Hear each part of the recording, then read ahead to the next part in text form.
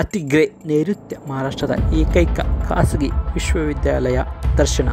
ಕೊಲ್ಲಾಪುರ ಜಿಲ್ಲೆಯ ಆತ ಕಳಂಗಳೆ ತಾಲೂಕಿನ ಅತಿಗ್ರೆ ಶ್ರೀ ಸಂಜಯ್ ಗೋಡಾವತ್ ವಿಶ್ವವಿದ್ಯಾಲಯಕ್ಕೆ ರಾಜ್ಯ ಮಹಿಳಾ ಮತ್ತು ಮಕ್ಕಳ ಕಲ್ಯಾಣ ವಿಕಲಚೇತನರ ಹಾಗೂ ಹಿರಿಯ ನಾಗರಿಕ ಸಬಲೀಕರಣ ಇಲಾಖೆ ಸಚಿವರಾದ ಸಂಸದೆ ಶಶಿಕಲಾ ಜೊಲ್ಲೆ ಜಿ ಹಾಗೂ ಚಿಕ್ಕೋಡಿ ಲೋಕಸಭೆ ಸಂಸದರಾದ ಮಾನ್ಯ ಶ್ರೀ ಅಣ್ಣಾ ಸಾಹೇಬ್ ಜೊಲ್ಲೆ ಜಿ ಹಾಗೂ ಬಸವಜ್ಯೋತಿ ಯೂತ್ ಫೌಂಡೇಶನ್ ಅಧ್ಯಕ್ಷರಾದ ಕುಮಾರ ಬಸವಪ್ರಸಾದ್ ಜೊಲ್ಲೆ ಅವರು ಭೇಟಿ ನೀಡಿದಾಗ ಸಂಜೆ ಗೋಡಾವತ್ ಸಮೂಹ ಸಂಸ್ಥೆಗಳ ಮಾಲೀಕರಾದ ಶ್ರೀ ಸಂಜಯ್ ಗೋಡಾವತ್ ಅವರು ಖುದ್ದಾಗಿ ಬಂದು ಆತ್ಮೀಯತೆಯಿಂದ ಸಕಲ ಆತಿಥ್ಯ ನೀಡಿ ಬರಮಾಡಿಕೊಂಡು ಇಡೀ ವಿಶ್ವವಿದ್ಯಾಲಯದ ಹೊರಾಂಗಣ ಹಾಗೂ ಒಳಾಂಗಣ ಪ್ರದೇಶಗಳ ದರ್ಶನ ಮಾಡಿಸುತ್ತಾ ತಮ್ಮ ಸಂಸ್ಥೆಗಳ ಕಾರ್ಯವೈಖರಿಗಳನ್ನು ವಿವರಿಸಿದರು.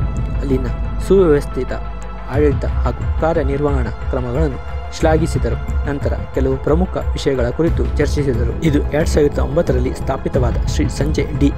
ಗೋಡಾವತ್ ಅವರ ಕನಸಿನ ಕೂಸು. ನೈಋತ್ಯ ಮಹಾರಾಷ್ಟ್ರದ ಏಕೈಕ ಖಾಸಗಿ ವಿಶ್ವವಿದ್ಯಾಲಯವಾಗಿರುವ ಇದು ತಜ್ಞ ಬೋಧಕ ವೃಂದ, ನವೀನ ಬೋಧನಾ ಶೈಲಿ ಮತ್ತು ಉತ್ತಮ ದರ್ಜೆಯ ಮೂಲಸೌಕರ್ಯಗಳನ್ನು ಹಾಗೂ ಅತ್ಯುನ್ನತ ಶೈಕ್ಷಣಿಕ ಗುಣಮಟ್ಟಗಳಿಗೆ ಹೆಸರುವಾಸಿ. ಇಂಥ ಅಭೂತಪೂರ್ವ ವಿದ್ಯಾ ದೇಗುಲಕ್ಕೆ ಭೇಟಿ ನೀಡಿದ್ದು ತುಂಬ ಖುಷಿ ನೀಡಿದೆ ಎಂದು ಹೇಳಿದರು.